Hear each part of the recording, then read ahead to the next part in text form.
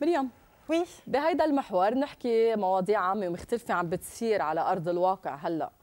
مؤخرا شفنا تأثرك الشديد بموضوع آه، سوريا والمجازر اللي عم بتصير هناك وخاصة آخر مجزرة مجزرة حلب وشفنا تأثرك الشديد. اليوم على المكشوف شو بتقولي للرئيس آه، بشار الأسد وللكل المشاركين بهالحرب اللي صار لها أكثر من خمس سنين؟ هلا أنا بدي أحكي غوسو مودو أنا ضد القتل والحروب وين ما كان. بس آخر شيء الحرب. ليه في حرب؟ لأنه كل واحد بيثبت وجود. كل واحد بيعلن الحرب لأنه في محل معين هيدا بده يثبت وجود على الثاني ومش قابل يتقبل الثاني بصير في حروب. وحروب بالكونسبشن تنروح عمقا وفلسفيا موجودة لتخفف من العالم. لأنه إذا ما في أمراض ما في حروب العالم بتفقس شو بيصير؟ عم بحكيك على قصص غير علمية عن أكتر. الموضوع اللي عم تسأليني إياه عميقة أكثر الحرب اليوم موجودة لأنه العالم عم تكتر. كل واحد بده يثبت وجوده. بصير في حروب. لا تقل شوي من العالم خاصة نحن عنا بالشرق الأوسط. هلأ أنا من النوع ضد وقتها بشوف قتل أولاد وامراه بنتاثر نوعا ما. بس يمكن المطرح الثاني اللي هو عم بيضرب هول العالم مبسوط لأنه عم بيعتبر إنه هو عم بيثبت وجوده إن كان من هالميلة أو من هالميلة. عم نحكي عمق أكثر تعتبريها أثبات وجود. أكيد الحرب شو هي الحرب اليوم؟ ليه صار في حروب؟ ليه ليه ليه نابليون بونابرت عمل حروب؟ هتلر عمل حروب؟ كل كل العالم ليه عملت حروب؟ لا. تثبت وجودها. يثبتوا وجودهم. إكس يوغوسلافيا أنا نص صربيه ما كان في شيء اسمه صربيا كان في شيء اسمه يوغوسلافيا. صار في حرب تثبت وجود انقسمت البلد. صار في اليوم السرب صار في انقسمت الدول الدولة يوغوسلافيا.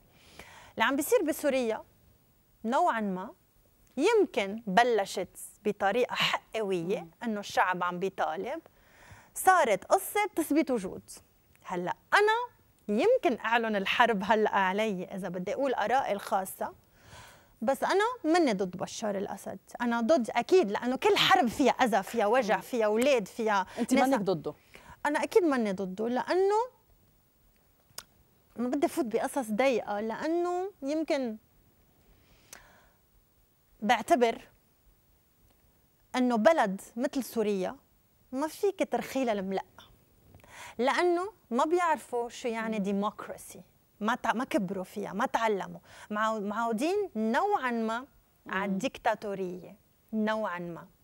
وهيدي الديكتاتوريه بهيك دول ما بتمشي غير الديكتاتوريه لأنه ال démocratie بدها دعم بدها فلسفة بدها وقت لنوصل مثل أمريكا. اليوم ما فيك تقولي. ما بتخافي اليوم من ردود الفعل على هذا أنا معودة على ردود الفعل. أنا ليك بحكي شو أنا بشوف. في دول بدها لأنه في ناس بيعتبروا بشار الأسد هو السبب الرئيسي بهيدي الحرب اللي عم بتصير. آراء الناس. قلت لك كيف بلشت. مم. نحن عم نشوف الحرب والأذى. أنا برمت لك الموضوع. ما رحت ديركت لا أنا بأيد أو ما بأيد.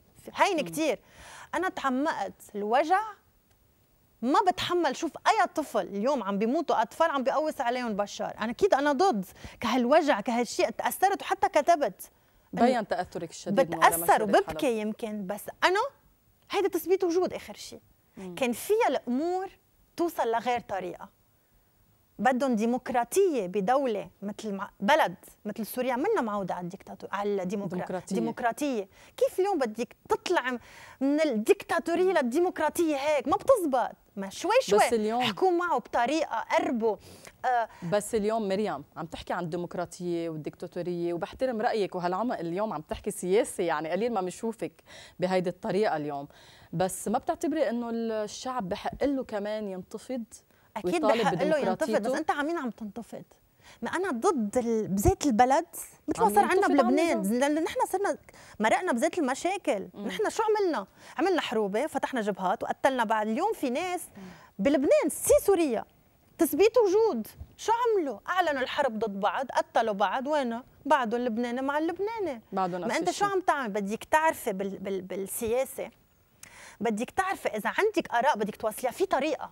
اذا إذا جيت هجمت على. بشار وأنا الله الله بدي أطلع بدي اشيلك من محلك طيب خليني هو أنا ما حيترك حاله تشيليه من محله لأنه هو صار له من جد جد جد جده يعني هي صارت منا أكيد. آه، منا منا بلد آه، يعني صار مثل مثل الملوك يعني صار مم. كل واحد مثلا البي من الجد ملكي، نظام ملكي من الجد ما للبي فيك تجي. تشيل نظام طيب ملكي خليني أنقلك من سوريا أنا على. لبنان على. مواضيع لبنان بما إنه اسم الله عندك عمق ببعض الأفكار يعني تفضلي مؤخرا عم نشوف هالنساء اللي عم تتعرض لعنف جسدي من أزواجها ومن الرجال وعم بتأدي لنتائج منا حلوة ابدا ل... عم يوصل الضرب لحد الموت. أوكي. شو موقفك أنت من هيدا الموضوع؟ في أحكي بعمق وبصراحه ما عم بقول لك. لأنك عم بع- بعمق. تقطشيني. لا ما حقطشك. موضوع المرأة اللي عم تاكلها قتلة وخبيط وقواص بالبيت هذا الموضوع منه فيني أنا أقول حرام المرأة وبدنا نوقف حد المرأة وأنت المرأة. اليوم في شعوذة بتربية ال- البنت. عم نربي البنت للخضوع. إنه أنت مرأة بدك تتجوزي تتضبضبي بالبيت. بصير عمرك تكنسي، 20 تمسحي. خلص يلا بدك تتضبضبي خلصنا. القانون ما بيحميها. أي قانون اليوم بيحمي المرأة؟ بتروح عند الدرج بتبكي وبتهوبر وبتولول. يلا على البيت. بتجي مكسورة بيطببها حبيبي برجع بحبيبي بيضبها بالبيت. في مشكلة عند المرأة. يعني الأم. المشكلة بالتربية هي. الماما. خلينا نوضح. الأم غلطانة هالقد. بتغنجوا لأبنها وحبيبي ويقبرني وما بعرف شو أنت الرجل وأنت نحن عشواء إنه بتحس شي ملك ابنها بيخلق الولد كأنه شي ملك يعني إنه ما حدا بيربوا يعني. الرجل على الرجل. خلق يعني عنده زيزي يعني أوف يعني شيء مهم كتير يعني sorry إنه please come on في مساواة بس المساواة بالقانون منه موجود. وقتها ما بيكون موجود. كيف الأم بدها تربي كمان؟ ابنها إنه هيدا بده يمسك اسم العيلة. هيدا شيء طب انت اليوم باختصار بما إنه نحن وصلنا لنهاية هيدي الحلقة شو بتعتبري المراه اللي كل يوم عم تنضرب؟ شو لازم تعمل؟ أول شيء من أول خبطة مسبة. هيدي تعلموها مني من أول مسبة. لأنه شفت كثير حوالي نسوان. حدا سبك أنت؟ لا ب- بربي. بس المشكل لكن إذا ضربك شو بتعملي؟ بقوسه. بتقوصي أنا ما معي ما في لا أنا شخص كتير من أول الطريق بس ما بوصل لهالمرحلة. لأنه ليك اسمعيني منيح اسمعوني أنتم يا نسوان اللي عم تاكلوها خبيط كتير منيح. من أول مسبة حيجي الكف ومن بعد الكف الضربة ومن بعد الضربة ممكن طنجره يؤدي على مخك. اللي طبختيه. وبعدين يمكن تتقوسي بين إجريك وثالث مرة بقلبك. على أمل ياخذوا بنصائحك ويكون عندهم جرأتك قبل كل هيدا الشيء. مريم وصلنا لنهاية هيدي الحلقة. وبنهاية كل حلقة نحن بنستقبل ضيف أو ضيفة. أو ضيفه بيحكوا قصته معك؟ لين قصتي؟ ما بعرف لأنه ما قلت لحدا. إيه ما نحن اللي ما بنقول قلتولي هاي مفاجأة بتكون. ما بتحب المفاجآت؟ حسب يا الله يستر شو؟ خلينا نشوف سوا مين. ضيف مين؟ يلا خلينا نشوف سوا مين هالضيف. وين في ضيف؟ ما بقشع فتشي عليه. ما بدي خبيينه قال. وينه هيدا الضيف؟ عم فرجيكم الفستان زينة حلبي كثير. حلو. bonsoir hi hi محمود السيد كيفك؟ منيح؟ تفضل. يي محمد شو عم تعمل هون؟ تفضل تقعد هون please يي تفضل وين لقيتو؟ هلا بنقول لك يا تفضل على محمد. الكرسي السوداء لو سمحت. قبل ما وين اسمع كنتوا مخبيينه؟ محمود مخبيينه. ما قلنا لك مفاجأة. المفاجأة ما بنفرجيها قبل ما أسمع قصتك أنت ومحمود خلينا نشوف سوا هيدا الفيديو. أوكي. وعودي بيح وإقتال بيني وإذا عالموت قالوا إذا عالموت يا مريم لك تطلبيني. مريم انبسطتي بهالمفاجأة إيه؟ إنه أكيد مفاجأة كتير حلوة لأنه أنا ومحمود في قصة يعني صار في قصة من ورا هيك شيء فجأة خلينا كنت بمحل. معين و... خليني أسمع من محمود اليوم. يلا.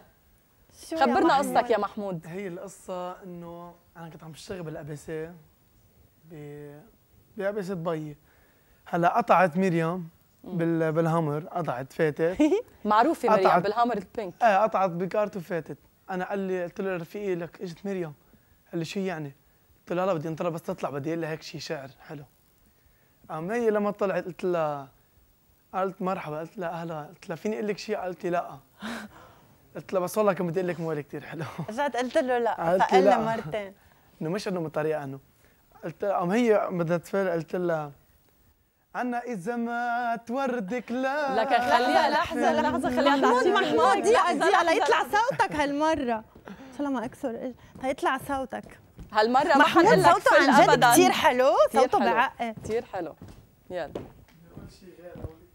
قول اللي بدك إياه ما حنقول لك فل ابدا لا تقولي لي ولا بقلك لا قال يا مريم لا تقولي لي ولا بقلك سألي قلبك بيدلك من الله حظ معتار شو بتريدي بعملك آه. أنا رح خبرك مازال ما عندك خبر. أنا رح خبرك ما زال ما عندك خبر. وشو بحب فيكي بالمفيد المختصر؟ قال بحبك تكوني خيمتي وكون المطر. قال بحبك تكوني ريشتي وكون الوتر. ولكن إذا شي يوم عبالك خطر تكوني قمر من طال إلا بالنظر. لك لح انجبر أعمل زنودي غيمتين. ولفك مثل. ما الغيم بلف القمر. يا قمر يا قمر. اسم الله عنك سمع الصوت. ميرسي محمود. يعني محمود. سمعتوا صوته شو حلو. عن جد. هيدا الموال هو يمكن اللي أدى لطردك من شغلك. لا والله هيك طب في؟ شغلة. لحظة. رجعت لقيت شغل على فكرة كنت بدي أسألك هالسؤال. إيه شو صار معك محمود؟ هلا أنا أنا عم بشتغل كل نهار سبت إكسترا يعني بمحل بشارع أنطلياس. يعني عم بشتغل كل نهار سبت بعد ما تثبت ما لقيت. شغل مزبوط يعني؟ بعد ما ما لقيت شيء طب شفتي مثلا أنا هيدا الموضوع عن جد بيستفزني. لأنه ما عاد شو مثلا إنه قبل إنه إنذار ما طلع له إنذار ولا شيء بيكتشف ثاني يوم لأنه إنسان صوته حلو. عباله يغني وين آخر الليل؟ يعني مش إنه كانت الساعة 10 إيه ساعة فاضية كانت الساعة 10 يعني ماشي عم بيسكر بس خلينا نوضح أكثر للمشاهدين هو انزعب من شغله لأنه غنى لك؟ بس. بس وما حد شو موال انذار ما اسمه لأنه هو بحب وكان لابس يغني. ثياب الشغل يمكن كنت لابس ثياب الشغل بس ما الساعة 10. تقبلوا هيدا الشيء. طب okay بس ما بيعطوه انذار قبل. أنا أنا هذا الموضوع صدمني وزعلني لأنه اليوم بلبنان كثير صعب تلاقي وظيفة. اليوم إنه عن جد واحد بيلاقي وظيفة ويتثبت. هذا الموضوع إنه إنه هيك يلا ميرسي مريم ما حاولتي. تساعديه يلاقي وظيفة؟ ما أنا حطيت عن فيسبوك وطلعنا طلعنا بالأخبار يعني إنه طلعنا بالأخبار هلأ في ناس بس إنه بتعرف العالم إنه صعب تلاقي وظيفة اليوم صعبة بس إنه أكيد حيجي شيء يعني إنه ان أكيد إن شاء الله. بتمنى لك أنا تلاقي وظيفة من بعد هالحلقة. يلا إذا حدا بت- عنده وظيفة لمحمود إن شاء الله يا رب please لأنه عن جد بليز لأنه مش مسموح اليوم إنسان زغطور ومهضوم وصوته هالقد حلو. قاعد بلا وظيفة بالبيت ليه؟ لأنه غنى غنى. ما قتل على أمل ما سرق تلاقي ما نهب يا ولا شيء. غنى. شو بتقول لمريم على المكشوف اليوم؟ أنا والله صراحة بحبها كثير من كل قلبي بحبها يعني. يعني لما. لما شفتها فاتت يعني إنه إجت مريم إنه بنعرفها فنانة ما معروفة يعني.